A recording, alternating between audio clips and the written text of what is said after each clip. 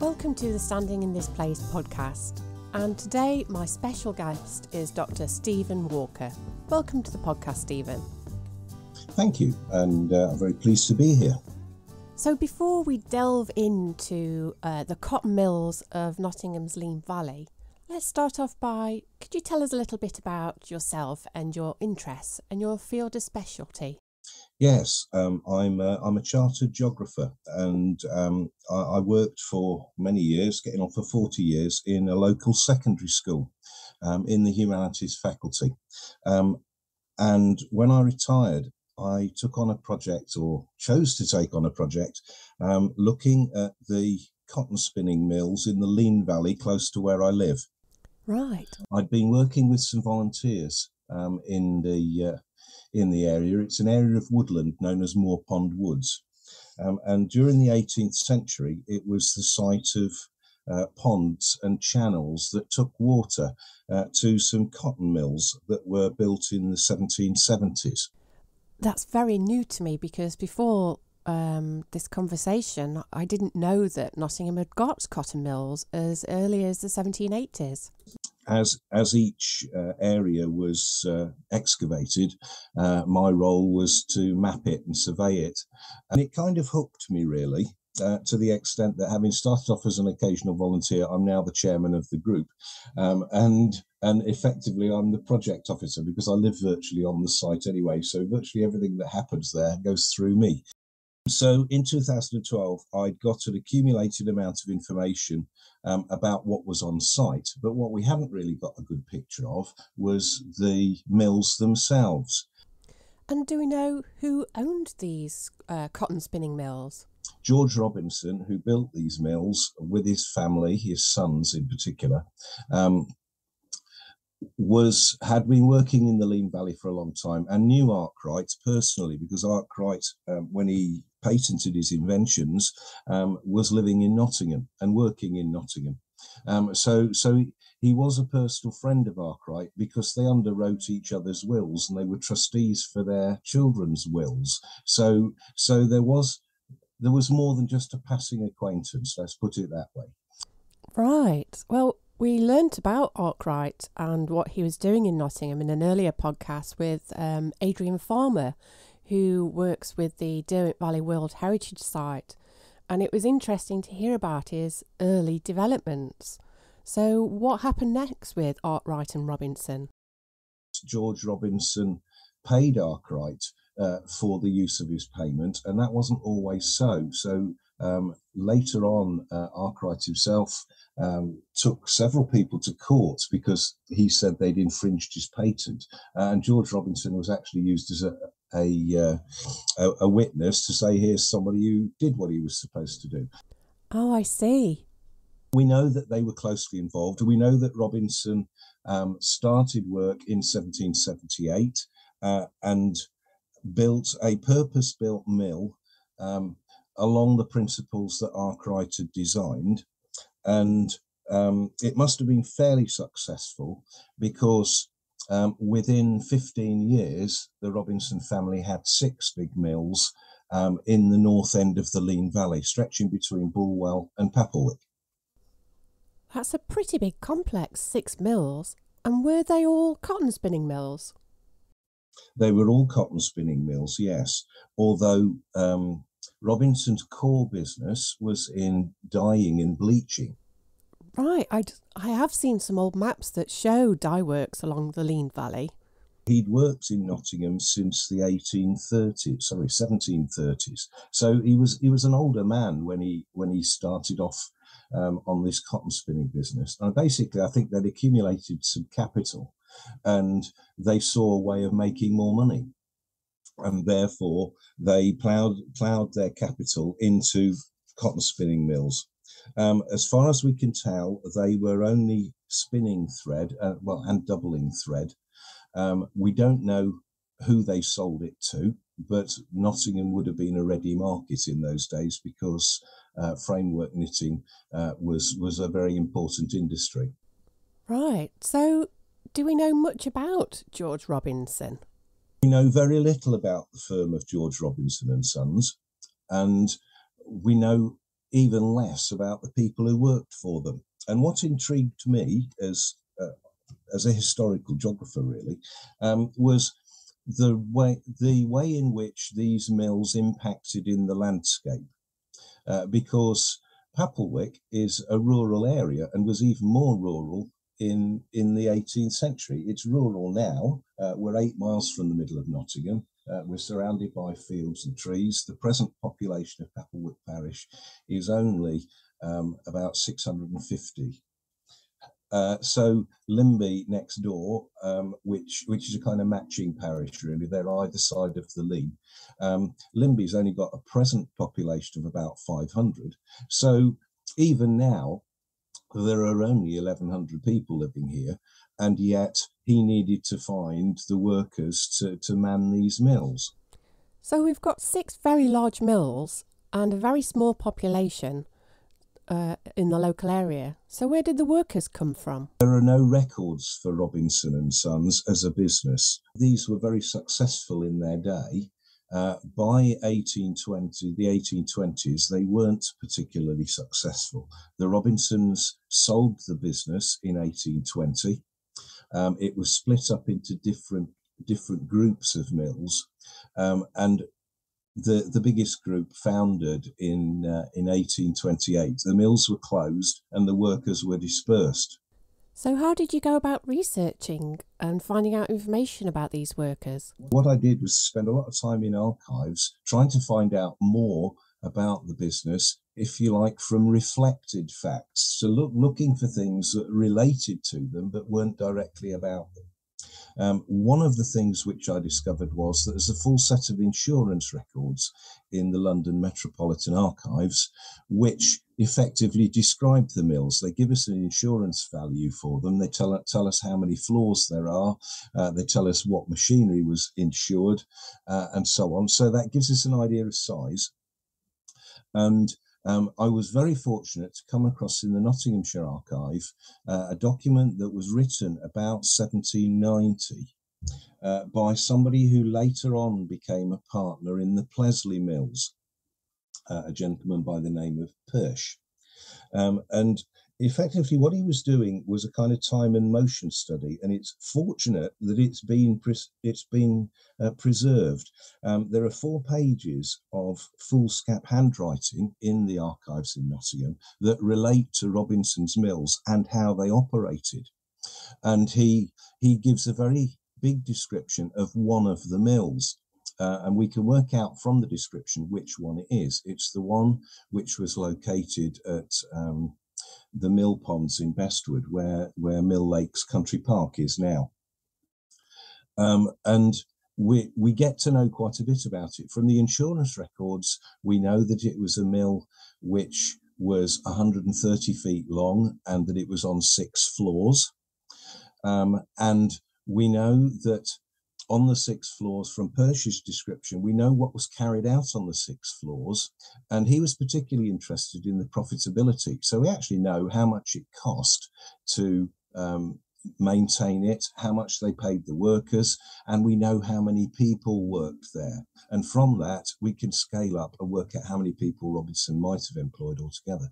Uh, we know that at that one one site, there were uh, 110 people with hands-on a hands-on job directly relating to cotton spinning, um, ranging from uh, boys and girls who worked the machinery, to the people who supervised them, to the adults who worked in the reeling rooms, and the accountant and uh, and the store people. So it, it lists all these roles uh, and tells us a bit about how much they were paid, and actually it tells us how much money was being made by the mill because it, it's a kind of cost accounting that um, it costs this much in uh, cotton uh, raw material. It costs this much to actually produce the cotton, and we're making this much money from selling it.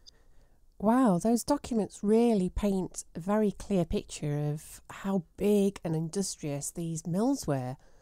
And were these mills quite profitable? And we can work out that that in one year this would have made thirty thousand pounds. Wow. Now thirty thousand pounds in seventeen ninety was a substantial amount of money. Mm. And so it was obviously a very profitable business. And if Robinson had six of these mills and there were a hundred people employed in this one, certainly four of the mills were a similar size to this. So we might be talking about five or six hundred people working with hands-on cotton experience. So if he wasn't working directly with the raw cotton and spinning, uh, were there other kind of roles uh, within these mills? Um, when you bought into Arkwright's patent, you didn't get an IKEA flat pack set of machinery. You got a set of plans that you were expected to make. So they employed blacksmiths, they employed carpenters, they they had a warehouse in the middle of Nottingham. Most of their material must have come up the Trent because it's the only cost effective way of transporting bales of cotton that weighed between half and a ton. Um, so to carry something like that, they would have relied on canal transport. The Trent is the most is the cheapest uh, and most effective means of transport, and they certainly had built a, a canal side um, warehouse when the canal was opened in the 1790s. So we know a bit about that. So therefore, they were transport, transporting these bales from the middle of Nottingham to Papplewick. So they needed um, they needed people to to cart. They needed to to grow food for horses. They needed blacksmiths and people to look after the, their haulage business, if you like, and the logistics side of the business. So I would estimate that at its peak, this firm must have employed between a thousand and fifteen hundred people. I see. Well, I actually found that in my own family history, where uh, the father, who was a blacksmith, uh, and his four children who went in the cotton mill, the father, I think, must have been using his blacksmithing skills on the machinery. Do we know much about where these people were coming from? Um, in 1750, the total population of Papplewick and Linby was 250 people. So they must have imported workers, and that intrigued me. Um, so, so I was I was interested to, to having found out a bit about the basics of the business and some of the costing. Uh, my my next task really was to try and find out something about the people if we could.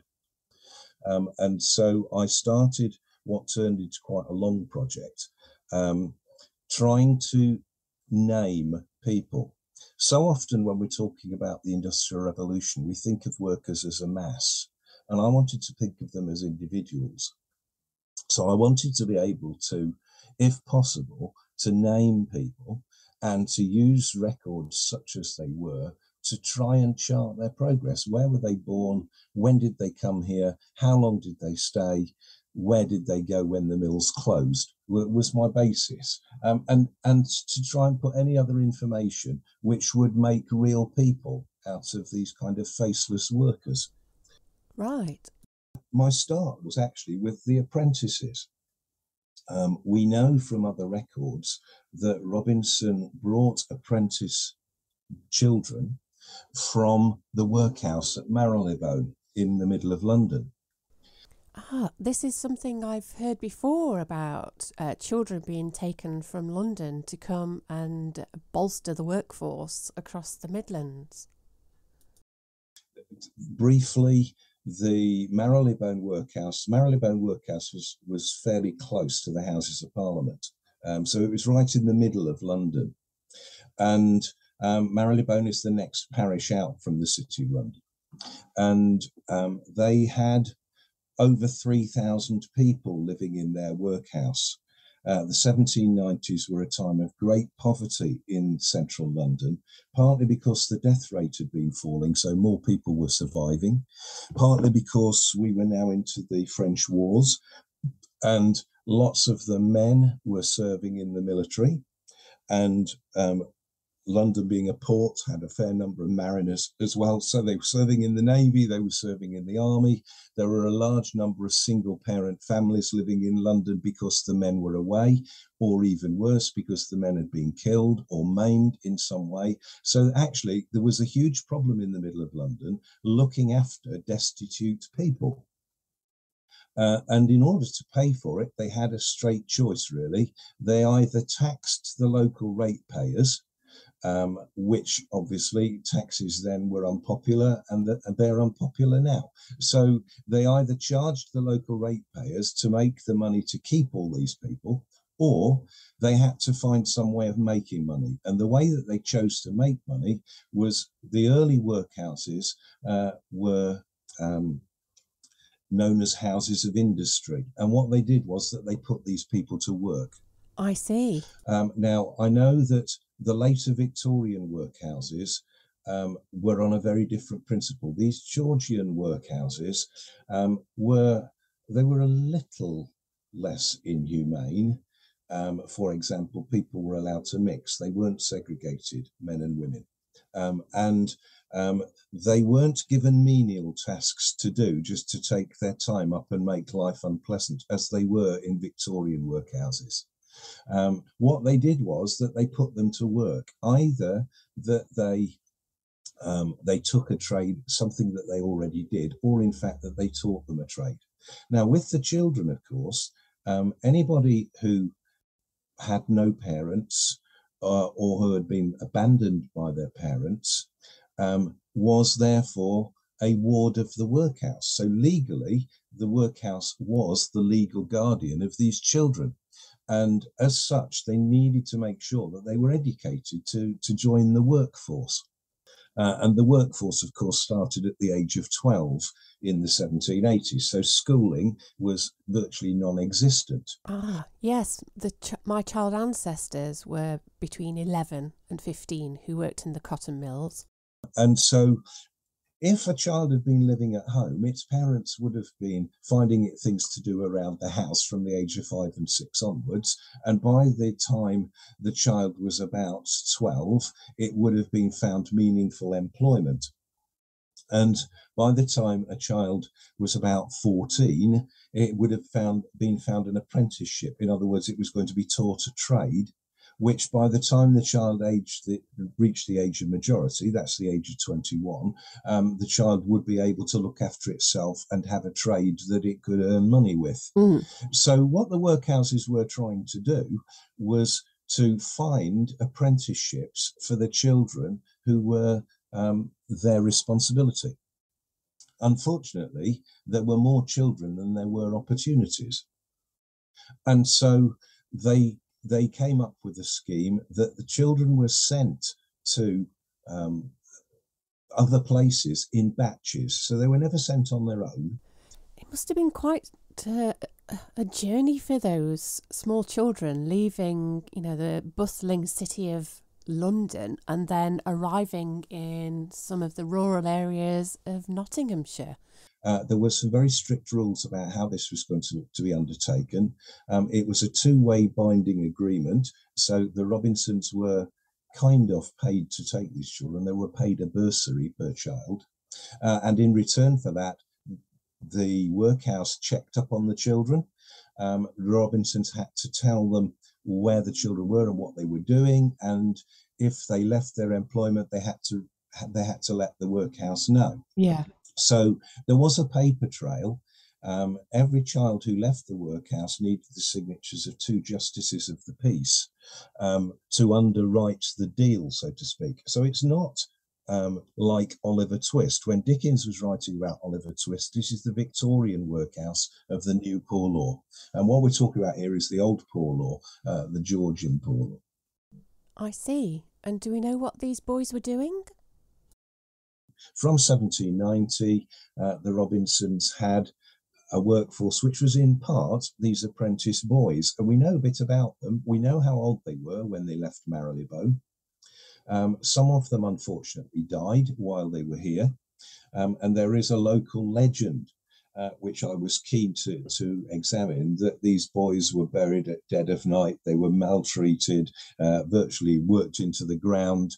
Um, and and I wanted to try and explore that. It, it turns out that what the burial records in Papplewick and Linby show, the clerk used a particular form of work, words for these people. Um, he, he always referred to them as a London boy at Mr. Robinson's Mills.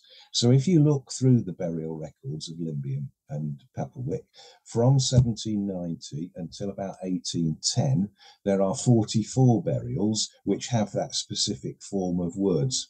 Uh, a, a London boy at Mr. Robinson's Mills. Now, people had always assumed that these were small children. Um, and the in fact, when you look into it, that's not true.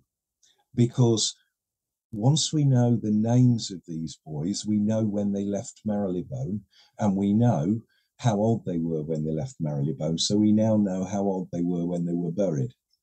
Right. Um, and and in fact, the early ones were of twenty odd year olds. Um, so, so the uh, the first boy, the first London boy in inverted commas now to be buried in uh, in Linby Papplewick was in uh, I think 1793, and it, it was a an adult of 23. Now, what's happened, of course, is that presumably these kids had a fairly strong Southern accent, and they were always referred to as London boys. Um, even in the 1860s, there's a burial in the Linby Register um, where the clerk has called him a London boy.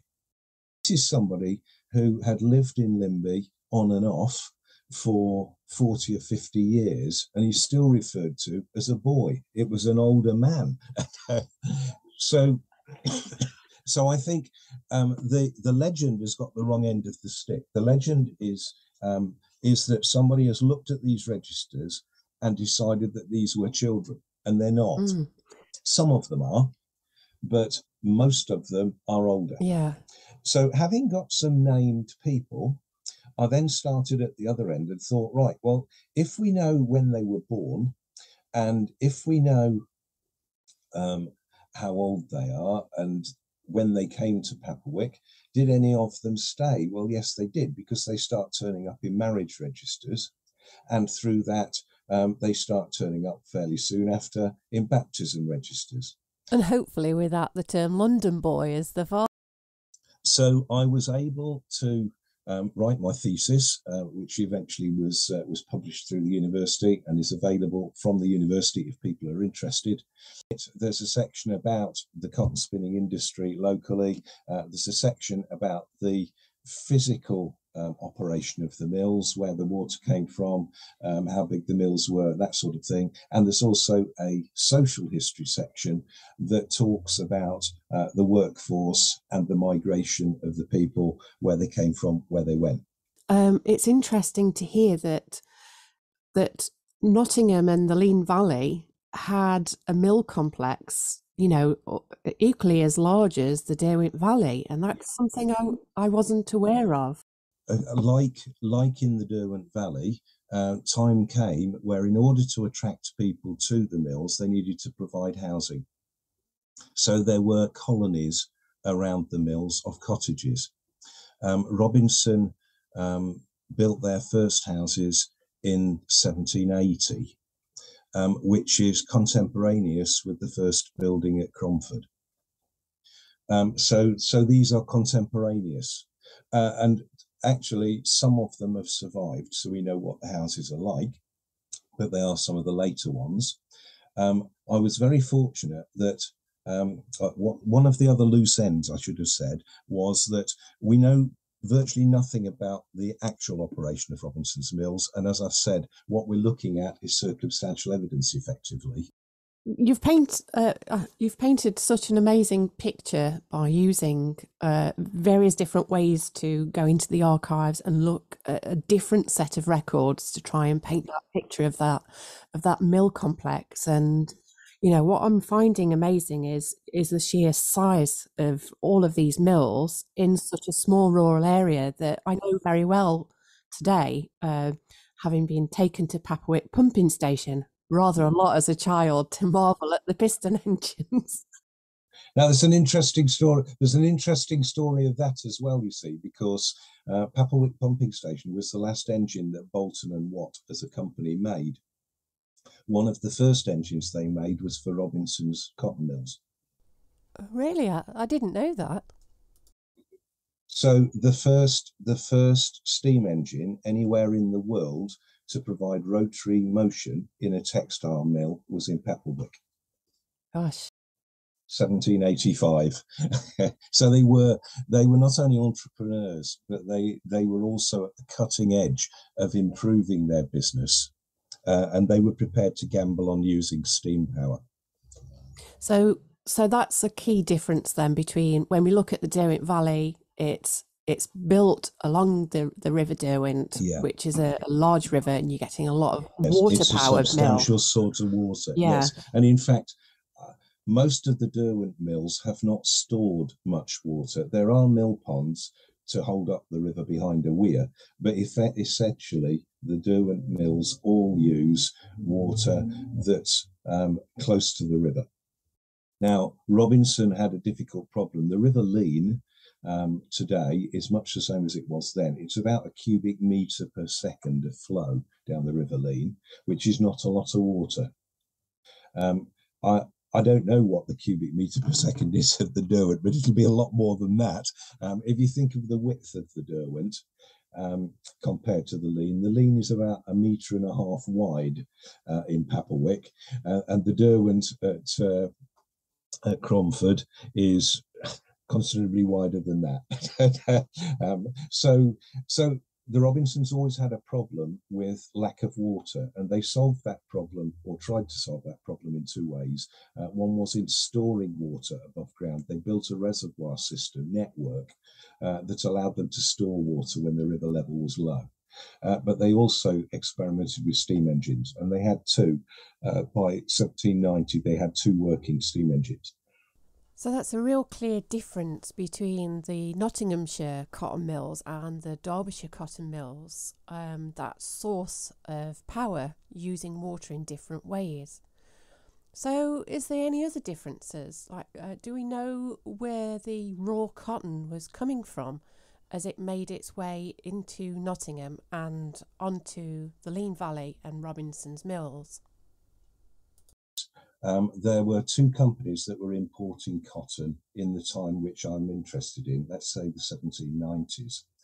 Um, one was Sandeman's, and most people who um, enjoy a Tippler sherry will know the name Sandeman's. Um, from the 18th century, Sandeman's were importing sherry from Portugal. Um, and as part of the cargo, they filled the ships with cotton from Brazil, which was a Portuguese colony uh, and they brought it to the port of London and sold it on. Um, within the Sandeman records, there are some records of um, about about a dozen sales to Robinsons um, of cotton that was coming from from Brazil via Lisbon through London and then being sent to Nottingham. Um, and the Robinsons said that they wanted their cotton to be delivered to Hull Right. So we know that this cotton was dumped on the quayside in Hull and made its way from Hull to Gainsborough uh, because um, the uh, the Trent and the Humber uh, ocean going ships can only get to Hull. Um, you need some sort of lighter, which is a smaller ship effectively, to take it from Hull to Gainsborough. And then from Gainsborough, it would be transhipped to barges to use the Trent navigation um, which would have brought it to Nottingham. Uh, from the 1790s, um, the Nottingham Canal was created, and the uh, what's what's now the Beeston Link, which goes from Beeston to the middle of Nottingham back out to the Trent. Um, that was built in the 1790s, um, and that's where the Robinsons had their warehouse, close to where the BBC building is now on London Road the, the picture that you've painted has just been amazing to sort of uh, reimagine that Leen Valley of Nottingham with all of these huge mill buildings uh, and that all of that cotton coming from across the globe coming into Nottingham being spun and then feeding the framework knitting industry and the, the lace making industry that Nottingham's known for. And that's a story I wasn't aware of when um, when I've been looking at this uh, story of cotton and this this journey uh, of the working classes. So I want to thank you for helping to paint that wonderful picture. And um, I'd like to ask if you'd be happy to come back for another episode, Stephen. I think I'm going to need to because we haven't actually mentioned Darley Abbey yet, have we? So, so it looks like I've talked myself into a return match, but I'll be delighted um, because I, I think it's an important story that, as you say, has not much been told. Thank you so much for being a wonderful guest. Thank you very much, and goodbye to you. Well, I do hope you've enjoyed listening to this series of the Standing in This Place podcast supported by National Lottery project grants through Arts Council England. We're going to take a, a, short break over the Christmas period and we'll be back in the new year to continue with this story of the Global Cotton Connection.